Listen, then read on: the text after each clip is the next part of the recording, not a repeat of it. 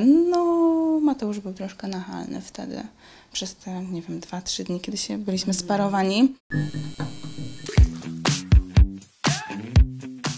Agata, znajdujemy się w Twoim salonie piękności, gdzie na co dzień e, pracujesz. Bardzo dziękuję, że zgodziłaś się na nasze odwiedziny. No, również bardzo się cieszę, że mogłam Was tu gościć. Najpierwsze pytanie, jak Ty w ogóle czujesz się po tym powrocie do e, codzienności, do pracy? Wiem, że dzisiaj masz już pierwszą klientkę.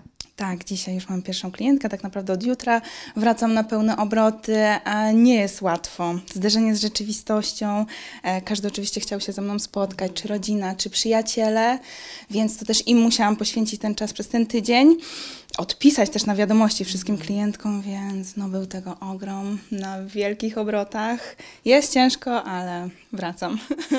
Domyślam się, bo ta skala oglądalności tej edycji tego programu była tak wielka, że na pewno zaczepiają Cię e, na ulicy. Jakie Ty masz z tym doświadczenia? Czy to są miłe sytuacje, czy może bardziej przykre?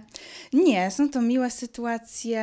No jestem zaskoczona i onieśmielona na, na, na początku, prawda? Nigdy wcześniej to mi się nie zdarzało, że ktoś mnie zaczepiał na ulicy i rozpoznawał, więc na pewno to jest miłe uczucie, ale jeszcze mocno mnie to krępuje. Jasne. A klientki dały feedback? No bo wiesz, masz swoją rzeszę stałych y, klientek, które przychodzą do ciebie. Znają cię jako panią Agatę, która robi im y, rzęsy, brwi i makijaże i nagle okazuje się, że jest w telewizji.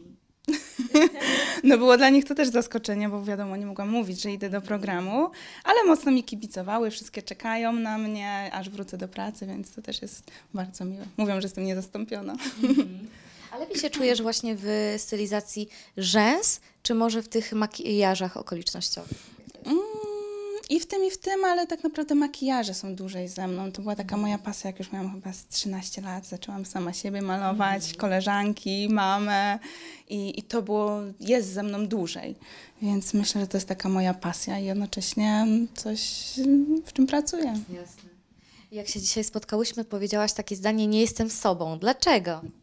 Jejku, no jeszcze mówię, ciężko mi się wdrożyć w tą rzeczywistość. Cały czas jestem na takich obrotach, nie mam czasu na odpisywanie na wiadomości i, i tak wiem, że jeszcze nie wróciłam w 100% do siebie. Nie odespałaś? no jeszcze ciężko, ciężko despać. Dzisiaj w ogóle zaspałam, więc... Ale tutaj w klubie? nie jest łatwo. Mhm. Zatrzymam się oczywiście przy relacji y, z Hubertem. Widziałam na Instastory, że chyba wczoraj pojechał w końcu do siebie. No, w końcu dzisiaj rano jednak jeszcze, jeszcze go zatrzymałam chwilę Naprawdę? dłużej. Ale tak. czyli plany się zmieniły, bo wczoraj chyba wyglądało tak. to inaczej. Tak, ale powiedział, dobra, już pojadę rano, a nie wieczorem, więc jeszcze go chwilę zatrzymałam. I tak naprawdę odkąd wróciliśmy, to spędziliśmy więcej czasu niż nie spędziliśmy go. Mieliśmy chyba rozłąkę tylko na dwa czy trzy dni, a tak to cały czas razem. No i jak, y, jak ci jest z tą świadomością, że teraz, hmm. kiedy wrócisz do domu, już go nie będzie? Oj, ale wraca już na weekend, także no ciężko jest. Y, dziwnie, właśnie jak mieliśmy tą rozłąkę dwudniową, to naprawdę taką czułam pustkę i to samo tyle miłych wiadomości Hubert mi wysyłał, że tęskni.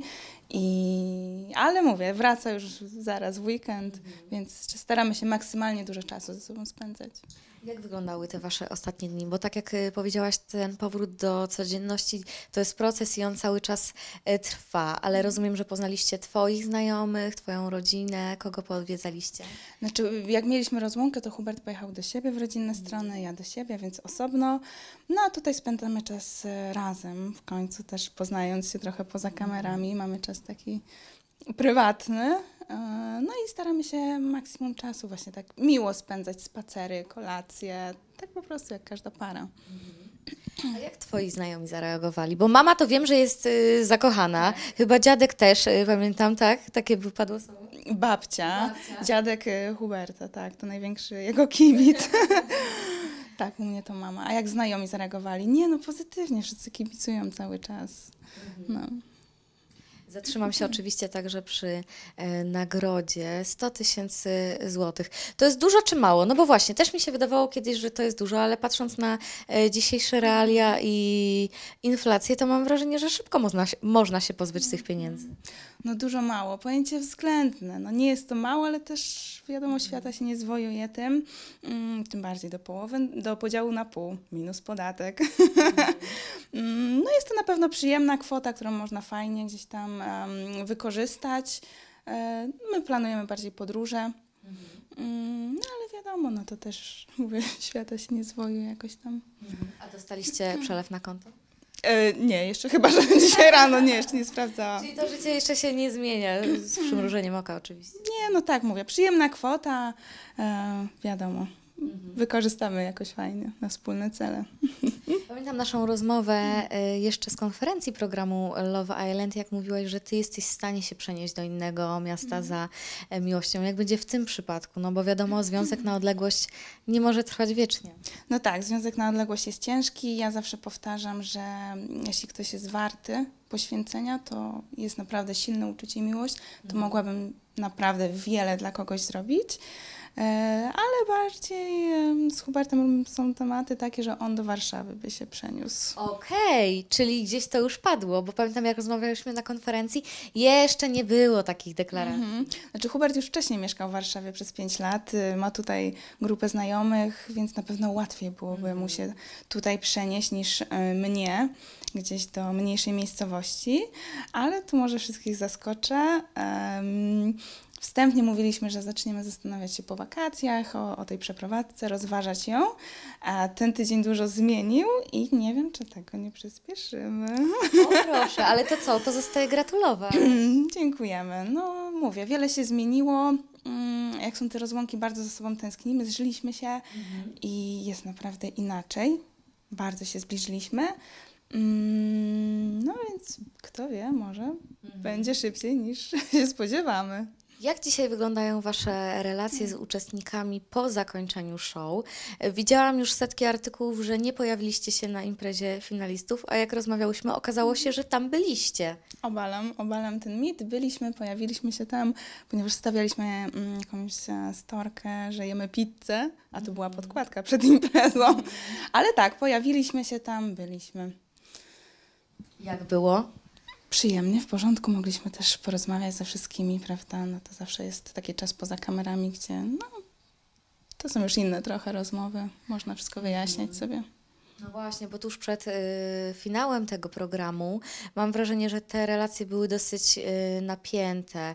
Ym, Sandra zaatakowała Huberta, gdzieś tam w tym wszystkim był y, też Adam. Co ty na to? Czy to już jest wyjaśnione, czy może jednak taka drzazga? I- Bo tak, wiem, że jest wyjaśnione, rozmawialiśmy na konferencji, ale mam wrażenie, że takie rzeczy zawsze gdzieś tam siedzą. Taka zadra y, po takich sytuacjach, no nie wiem, czy ja bym potrafiła to odpuścić. Mhm, no to bardziej ze strony Huberta, prawda? On miał gdzieś mm, problemy mm, z tymi osobami. Mm, No myślę, że duża część została wyjaśniona. No myślę, że Hubert będzie miał mimo wszystko to z tyłu głowy. No jednak miło, że ktoś potrafi przyjść, wyciągnąć rękę i to po prostu wyjaśnić sobie. A sam e, Adam, na niego faktycznie spływa fala krytyki. Co ty na to? Takiego hejtu nawet może bardziej. No, ja już to też mówiłam na naszym live, że hejt, który spływa na Adama, no jest straszny, jakby jego forma, prawda? Życzenie komuś śmierci, czy, czy już poruszanie tematy rodzinne, no to mm, no, nikom, nikomu bym tego nie życzyła. Myślę, że jedyne, co mogę wszystkim radzić, to nie rób drugiemu, co tobie niemiłe. Mm, I to są tak brzydkie słowa w kierunku e, Adama. No ale mówię, ogólnie szeroko pojęty hejt nie powinien przybierać takiej formy. Konstruktywna krytyka jak najbardziej na tak, ja sama ją lubię, kiedy ktoś zwróci mi uwagę i mogę mieć taki czas na przemyślenie i przeanalizowanie czegoś, no ale to, co dotyka Adama, to myślę, że jest no, mocno przerośnięte. Wiemy, że z Adamem tworzyłaś także e, relacje, był pamiętny pocałunek, cała willa tym żyła, ale nie tylko my tutaj w Polsce też wszyscy to żywo komentowaliśmy. Byli zwolennicy tej relacji i przeciwnicy, a jak ty na to patrzysz z perspektywy czasu, kiedy już zdążyłaś nabrać e, może trochę oddechu? Znaczy z Adamem sobie wyjaśniliśmy to, jakby nie mamy do siebie żalu i też z Hubertem uznaliśmy, że tak naprawdę może było nam to potrzebne, że to był taki mocny fundament naszej relacji, mm, że to nie są tylko te kolorowe prawda, sytuacje, ale czasem i kryzysy są nam potrzebne, żeby coś docenić. I myślę, że w tym przypadku e, tak oboje stwierdziliśmy, że dało nam to wiele dobrego. Tak naprawdę koniec końców umocniło mm, naszą relację. Jasne. Widzowie mm, Odebrali właśnie ten pocałunek, że ty chciałaś czegoś więcej od Adama, albo może myślałaś o tym, że faktycznie coś zbudujecie, bo wy byliście przede wszystkim bardzo dobrymi kumplami, wy się bardzo dobrze dogadywaliście, a Adam gdzieś tam e, postanowił to odciąć, zakończyć. Myślałaś o powodach y, takiej jego decyzji? Bo dla nas widzów było to niezrozumiałe i trochę się zastanawialiśmy, ej, dlaczego? Przecież oni tak dobrze się dogadują, więc dlaczego z tego ma nic nie być? Tak, z Adamem bardzo dobrze się dogadywałam na początku. Znaczy w sumie przez cały, cały czas jakby na wyspie było w porządku. Um, dużo osób mi tak naprawdę sugerowało, że ja gasnę przy Hubercie, a przy, przy Adamie jestem taka rozpromieniona. Um, więc no, dużo osób sugerowało, może gdzieś nie powinnam była słuchać tłumu, um, bo mnie to popchnęło może w czy złe, czy dobre decyzje, nie wiem, to pozostawiam już dla widzów. Tak jak wspomniałam z Hubertem, uznaliśmy, że finalnie wyszło to dobrze. Mm, no ale no, myślę, że nie miało chyba prawa bytu ta relacja. Więc no takie, noga mi się trochę powinęła, ale... Jak ja oglądałam e, ten program, to mam wrażenie, że ty sama mówiłaś takie słowa, że e, gaśniesz przy Hubercie, rozkwitasz bardziej przy Adamie, ale rozumiem, że może to ktoś ci zasugerował. Jak ty się teraz do tego odniesiesz? Hmm, troszkę mi tam e, sugerowały pewne osoby, no i też ten odcinek z Dodą, gdzie, gdzie powiedziała, że wszyscy widzowie mówią, że jesteśmy jak małżeństwo. Może to było takim troszkę że mi się zapaliła taka lampka, no ale nie, z Hubertem bardzo dobrze się dogaduje, tym bardziej teraz po wyjściu mm, jest zupełnie inaczej, wcale nie jest takim grzecznym chłopcem. Wychodzi z niego taki pozytywny świr, pozytywny wariat. Co masz na myśli? Nie, naprawdę, że jest, e, kurczę, jak ktoś mówi o nim bibliotekarz czy domator, no to się to absolutnie nie sprawdza. Jest mega pozytywny i też zakręcony super umie się bawić, świetnie tańczy i naprawdę jest zupełnie inaczej, więc no trochę osób mi wtedy sugerowało takie coś. Mm, niekoniecznie, nie, nie było to potrzebne, prawda? Mhm. A zabolały Cię słowa Dody, że powiedziała, przeczytała komentarz widzów tak naprawdę, że Wy z Hubertem jesteście jak stare małżeństwo? No troszkę mi było przykro, nie rozumiałam tego tak naprawdę. No ale mówię, no nie było potrzebne, żebym się tym sugerowała, tylko najlepiej myśleć tak, to co ma się w sercu, mhm. a nie, nie słuchać tłumu. A samo wejście Dody, jak oceniasz, jak Ci się podobało? Zrobiła porządki? Nie, no bardzo pozytywnie, prawda? Koncert, wszystko było dla nas mega zaskoczeniem, no i też te komentarze, to, to było pierwsze takie nasze mhm. zderzenie z jakimś hejtem. No więc bardzo ciekawy odcinek. Mhm. Skoro rozmawiałyśmy o pocałunkach, to zapytam Cię także o pocałunek z Matim, mhm. E, bo to był Twój kolejny programowy partner. Czy Ty byłaś w ogóle zaskoczona, jak on wrócił z Kasanowy e, z Sandrą? Mm, nie, tym nie byłam zaskoczona. Wiedziałam, że z kimś wróci. Po tych materiałach, które tam widziałyśmy, mhm. to, to, to no zresztą Mateusz znał moją sytuację, wiedział, że ja się nie zamykam na Huberta i cały czas mhm. gdzieś tam mi siedzi w serduszku. E, więc budował po prostu nową relację, bo wiedział, jak to wygląda z mojej strony. Mam wrażenie, że ten pocałunek twój i Matiego bardzo zabolał e, Alicję, co podkreślała w wywiadach. Co ty na to? Domyślam się, że mogło ją to zaboleć, jednak uważam, że trzeba mieć na uwadze to, że no, Mateusz był trochę nachalny i jego pocałunek był po prostu takim przyciągnięciem. Um, ja się trochę broniłam, mówiłam, że cały czas nie zamykam się na Huberta, mhm. e, a jego jakby taka forma, forma tego pocałunku była dość taka bezpośrednia. Mhm. To też nie było tak, że ja nad wyraz odwzajemniałam ten pocałunek. A ty żałujesz w ogóle tego pocałunku? kurczę, nie umiem się odnieść tak naprawdę. No to, to było w ogóle wiele burzliwych sytuacji i mówię, no Mateusz był troszkę nachalny wtedy przez te, nie wiem, dwa, trzy dni, kiedy się byliśmy mhm. sparowani. Mm, nie wiem, czy w ogóle by doszło też do tego parowania, gdyby nie to, że Beata była przede mną w okay. wyborze. Mm, jakby podkradła mi Huberta, mm-hmm. więc byłam jakby zmuszona wybrać Mateusza, bo no, mogłoby się to inaczej potoczyć. Jasne. A jak dziś wygląda e, Twoja e, relacja z Alicją? Czy Wy w ogóle rozmawiałyście na ten temat? E, nie, jeszcze nie miałyśmy okazji e, rozmawiać z Alicją. Wiem, że niedługo będzie impreza wspólna. No więc siłą rzeczy się spotkamy i na pewno zamienimy parę zdań. Wyobrażasz sobie e, to spotkanie, bo faktycznie gdzieś ze strony Alicji padło w wywiadach, że e, ty próbowałaś się cały czas e, oczerniać. Widziałam trochę twoje zaskoczenie. Mhm. Ojejku, nie wiem, czy próbowałam oczerniać. No, muszę ją zapytać, w którym momencie tak naprawdę, bo ja nie, nie widziałam jeszcze, no nie wiem, czy podczas jej pobytu, czy już późniejsze odcinki, bo odcinków nie oglądałam do końca, więc ciężko mi się odnieść do tego. Myślę, że Ali chodziło o to, co mm, trochę mówili wszyscy, ale jednocześnie z Twoich ust też to padło, że jest po prostu za bardzo zazdrosna i skoro tak zachowuje się w programie, to jak będzie się zachowywać e, na zewnątrz? No, myślę, że Alicja wie, że ma problem z zazdrością i to każdy gdzieś tam otwarcie Mhm. mówił, więc nie trzeba koniecznie tego tylko mnie przypisywać. Jasne. To jest raczej stwierdzenie faktu zazdrość niż oczernianie kogoś. Widziałam natomiast na Instagramie, że po programie ożywiła się Twoja relacja z Olą, bo wiemy, że na początku nie było Wam e, po drodze. Właśnie miałam wrażenie, że byłaś bardziej bliska Alicji niż y, Oli. Rozumiem, że sytuacja się zmieniła. Y, Z Olą miałyśmy już pod koniec bardzo dobry kontakt. To sama jej osobiście powiedziałam, że pierwsze wrażenie na mnie zrobiła dobre. Później niekoniecznie ją polubiłam, ale naprawdę e, zaczęłyśmy się bardzo dogadywać i była taka rozmowa, że, no, że mamy taki mm, wspólny vibe, który dopiero później odkryłyśmy i nasza relacja była na końcu bardzo dobra. No i tak samo jest teraz po programie. A jej ta sytuacja z Julką, co wy dziewczyny na nią naskoczyłyście, ona rozumiem już totalnie to wybaczyła, wezmę to w cudzysłów.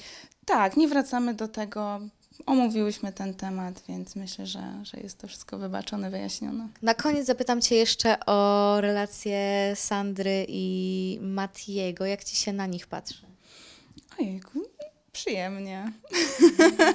nie wiem, myślę, że każda para finałowa była mocną relacją i no nie nam oceniać. My się z Hubertem uznaliśmy, że skupiamy na sobie niż ocenianiu innych relacji. Życzę wszystkim jak najlepiej, dużo miłości i autentyczności, prawda? Jeśli ktoś to podważa, to no nie my. My się skupiamy na sobie i życzymy jak najlepiej wszystkim. Agata, już na sam koniec przygotowałam dla Ciebie szybkie strzały. Ja pytam, Ty odpowiadasz i krótko uzasadniasz dlaczego. Czy jesteś na to gotowa? Nie wiem, chyba tak. Zaczynajmy. Alicja czy Ola? Mm, Ola. Złapałyśmy bardzo dobry kontakt pod koniec e, programu. Mamy wspólny vibe. E, super się dogadujemy i będzie to przyjaźń na długo dłużej. Gdybyś była zwierzęciem, to jakim? Ojejku. Kolorowym ptakiem. Okej, jasne. Nie musisz uzasadniać. Mati czy Adam? Pomidor. Nie wiem. Nie wiem. Nie faworyzuję nikogo. Myślę, że miała wybrać. Nie wiem. Mati, bo był pierwszy z kolejności. Kto był Twoim idolem w dzieciństwie? Ojejku. Britney Spears. It Kochałam again. ją, kochałam ją i tańczyłam zawsze do jej teledysków, tak. Słodkie czy słone? Mm, słone. Tak. Zdecydowanie bardziej wolę iść na kebaba niż na ciastko. Rihanna czy Beyoncé? Rihanna. Zranić kogoś czy być zranioną? No, to już trudne pytanie. Teoretycznie zranić kogoś, bo wtedy my nie jesteśmy i na tym nie cierpimy, ale jednak też ranienie kogoś mm, nie jest czymś fajnym. I, I umiem się postawić w czyjejś skórze, tak jak ja zraniłam Huberta. Mm, To też z tego powodu bardzo cierpiałam, więc myślę, że to jest no, bardzo ciężko określić. I to, i to mm, jest nieprzyjemne. Ranienie kogoś i bycie ranioną. I na koniec operacje plastyczne, tak czy nie? Czemu nie? Jestem otwarta, jeśli ktoś ma jakieś e, kompleksy i, i może je wyleczyć, jestem jak najbardziej za tak. Nieważne jak się coś osiągnęło, ważne jaki jest tego efekt, a jeśli to też ma psychicznie komuś mm, poprawić komfort życia, to jak najbardziej na tak. Byleby nie przesadzić. umiar, umiar we wszystkim. Szybkie strzały za nami, ale przygotowałam dla Ciebie jeszcze quiz. Jest 10 na 10, ale chodzi oczywiście o facetów. Ja podaję wadę i wtedy Twoja ocena y, spada. Y, rozumiesz y, zasady? Może się nie pogubię i będzie to prawdziwe, bo później się to pomiesza, ale spróbujmy. Jest 10 na 10, ale nie ukrywa, że podobają mu się także inne kobiety. Mm, 3 na 10. Nie, nie. Raczej nieakceptowalne. Raczej nie, nie. Fajnie jak facet się skupia tylko na mnie i nie ogląda się za innymi. To jest takie... Hubert taki jest? E, tak, jest, e, że skupia się tylko na mnie, nie wodzi gdzieś tam wzrokiem, to jest bardzo miłe. Mm, to jest duża zaleta u mężczyzny. Jest to takie seksowne, wierność taka faceta. Wierność jest sexy. Tak, zdecydowanie. Jest 10 na 10, ale chrapia. Ojejku, hmm, 8 na 10, no jakoś bym przeżyła. Bywałam z chrapaczami, że tak powiem i jakoś to dźwignęłam. Jest 10 na 10, ale pali papierosy. Hmm, 5 na 10, pół na pół. Nie, Do przejścia. do przejścia nie chciałabym, ale jakby palił, mówię, pół na pół. Mhm. Nie przeszkadzałoby mi to, ale jednak bardziej, no bardziej na nie, lepiej, żeby, Mhm. żeby ktoś nie palił. Jest 10 na 10, ale nie chodzi na siłownię. Nie wiem, 7 na 10. Sama nie chodzę na siłownię, więc jeśli ktoś dobrze wygląda i ma dobrą genetykę, nie musi. Jest 10 na 10, ale ma tatuaże. No właśnie, wada czy zaleta? 10 na 10. Okay. A ty masz jakieś? Nie, ja nie mam, a nie brwi tylko. nie mam tatuaży i wiem, że jakbym zaczęła, to bym się uzależniła i bym pewnie już była cała od stóp do głów, więc nie zaczynam. Ale tak, jak najbardziej u facetów lubię. Jest 10 na 10, ale jest dużo starszy, powiedzmy 15 lat. Czy w ogóle mogłabyś być z takim facetem? Myślę, że wiek nie ma znaczenia. Hubert jest 4 lata młodszy, więc to tylko liczby tak naprawdę. Mówię, to jest pół na pół. Nie przeszkadzałoby mi to absolutnie. Jest 10 na 10, ale na Twoje wiadomości odpisuje po kilku godzinach. Mm, 7 na 10. Może jest tak zajęty i zapracowany. Lubię pracowitych. Zapracowany. Lubię zapracowanych mężczyzn, em, pracocholików, więc no, zależy jaka byłaby prawda, przyczyna tego nieodpisywania. Bardzo mądra odpowiedź. Tak, Hubert też ostatnio nie ma trochę czasu, mamy taki pęd, więc jesteśmy dla siebie wyrozumiali. Okej, ale zdarza się, że nie odpisuje 3 godziny na Twoją wiadomość? Nie, no chyba aż tyle to nie. Aż tyle to nie. To ile? Ojejku, nie wiem, no musiał być zajęty, może miał jakieś spotkania czy wywiady, to wtedy faktycznie, ale tak to staramy się w stałym kontakcie być. Jasne. Jest 10 na 10, ale przeklina. Mm, 3 na 10. No, nie lubię, jak ktoś na, nadużywa takich brzydkich słów. Tym bardziej no, w stosunku do kobiety, mężczyzna, no nie, nie, nie lubię tego. Jasne. I ostatnie jest 10 na 10, ale pisze z innymi dziewczynami na Instagramie. 1 na 10.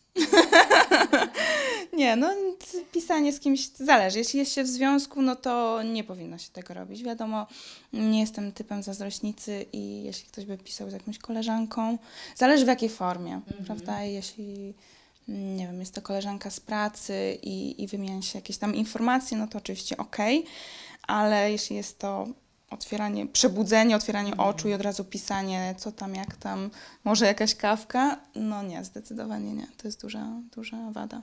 Jasne. E, Agata, przeszłaś przez cały mój ogień e, pytań. Za chwilę e, Twoja klientka będzie w salonie, więc co, pozostaje mi życzyć Ci powodzenia, żebyś się tutaj właśnie. Właśnie. No, jest ciężko, ale już powolutku wracam na właściwe tory. Bardzo dziękuję Ci za rozmowę. Dziękuję również.